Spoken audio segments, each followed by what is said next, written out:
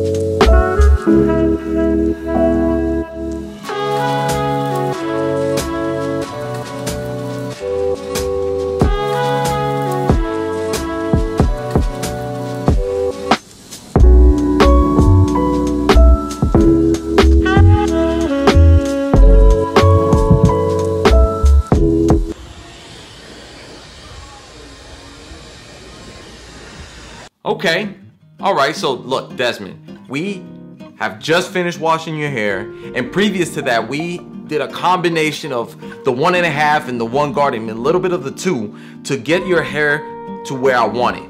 And to lay it down with the blow dryer and a soft bristle brush doesn't take much, it doesn't take long, so it shouldn't take you long when you do it yourself, okay? And so the idea is to lay the top down, fade the sides. The fade could be affected by where that curve in the head is. I don't know if you noticed the comb. I'm keeping in mind that the curve is where it is and I need to keep this fade beneath it. You need to keep the fade beneath it, okay? So I went ahead, started my half section, and by half I mean the blade all the way open. I created about an inch of a section, and after that, I kind of move up and debulk from that curve, and I'm gonna start fading down from the highest point down to the lightest point. The lightest is pretty much the half, I mean beneath that is the bald, and you already know how that goes, right? Now, if you want me to break this down with detail, guys, make sure you follow me on the Tomb 45 Academy. We've been lit lately in the live. A lot of people get to uh, interact with me. So if you want to interact with me and get a breakdown of what I do on all my videos, go ahead and follow me on Tomb 45 Academy. The link is below.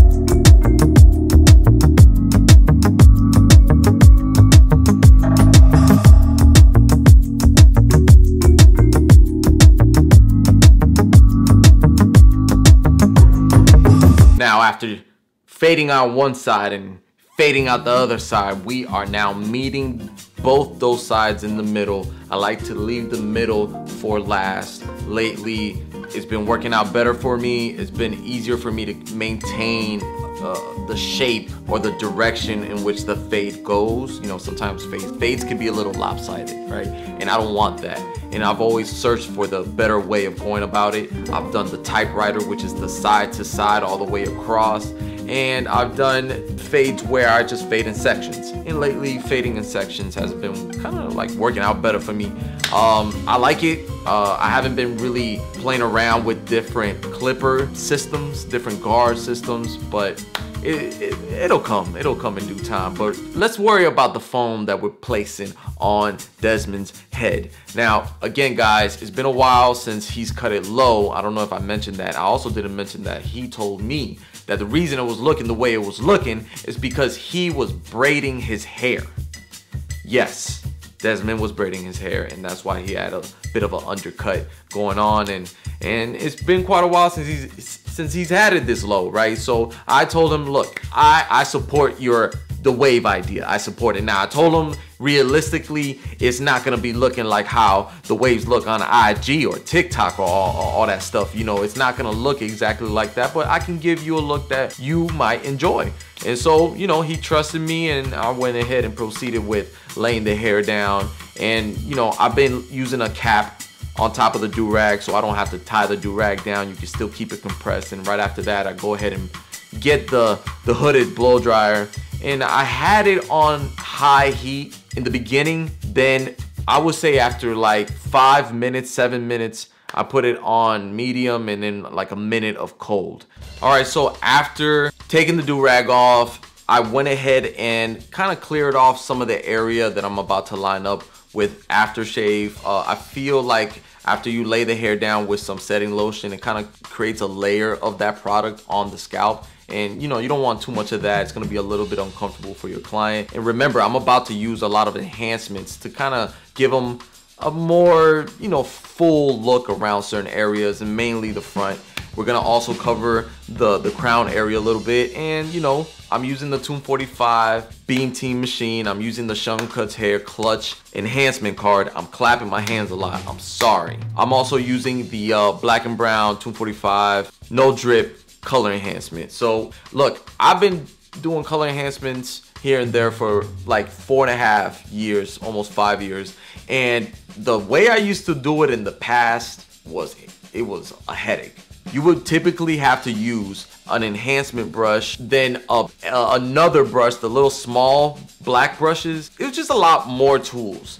And it kind of takes you longer on the service because you're using way more tools. And the fact that I'm down to maybe three, two to three tools total to do this service, I prefer it. So it's it's a convenience thing. It works well. The way it goes with the mat. I mean, one day I'll I'll go over my station. Let me know in the comments below if you want me to go over my station and I'll make a video of me going over my station. But look, I went a little bit dark with it. I was a little trigger happy, okay? So I'm lightening it up a little bit with more aftershave and I'm just tapping away, all right? I'm tapping away. I realized I was a little trigger happy. I get it. I was shooting away. I was shooting too much.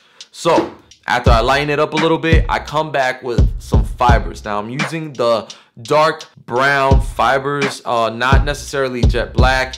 Uh, I'm not picky with the type of fibers that I use. I'm not, the, I don't have a, a company of preference. I am kind of tapping away, releasing some of the fibers, stepping back, and I'm, I, I got a little trigger happy right there. And look, I feel like this is looking good, and I'm not the only one.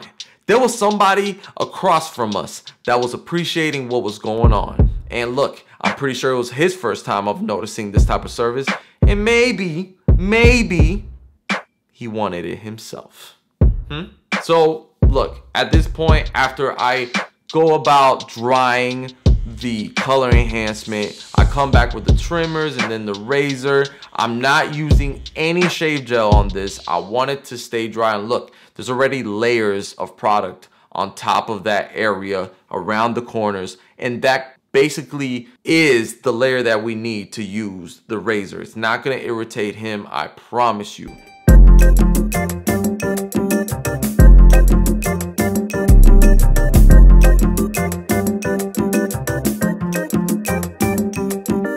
Listen, Desmond, I wanted to change your image instantly, okay? Understand this, bro. Look, listen, bro, listen. I couldn't even let you leave with a silhouette that you walked in with. You know, I know you were rocking it for a while, but please, Desmond, you deserve a better look. You can't go back to this. It's too late. You, my friend, now have a brand new look. We gotta keep it going, Desmond. We gotta keep it going. All right, so I'm just gonna give you a few rules. This is what you got. Every time you get a service just like this, Desmond, look, just keep in mind, it's not gonna look the same if you got a lot of wear and tear in your lifestyle. But if you wanna keep it for two, two to three days, look, just keep it away from water. That's one, I get it. We all know that one. Wear a do-rag, wear a wave cap, preferably a do-rag because wave caps, you tend to move them around a little bit and then, you know, it just can get a little messy from there. Make sure you put it on nice and snug before you go to sleep or before you do any type of hard activity. But if you're gonna keep up with it in that way, and once in a while, fill it back up with a little bit of fibers, go and, go and find you some. Remember, dark brown. Remember to get you some type of hairspray just to keep it nice and tight. And other than that, bro, I'll see you next time, Desmond. I know that you are out of state, but you literally came all the way over here for a cut. Thank you.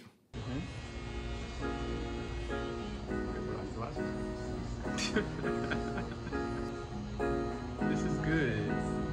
This is good. I am Mario.